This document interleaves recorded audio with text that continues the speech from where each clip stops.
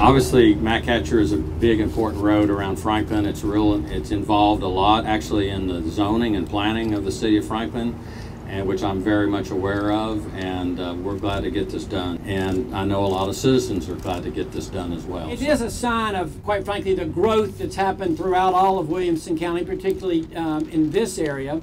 Uh, and it's one of the things we try to do is try to make it so that as people want to enjoy all the great places in Tennessee, we can help make that happen. And opening this road is an important piece of that. From the city of Franklin, we're so proud that we've had so many people involved with making this project uh, come to fruition, and we're very thankful for that. And as one citizen told me just recently, whenever we opened this road, praise the Lord, hallelujah.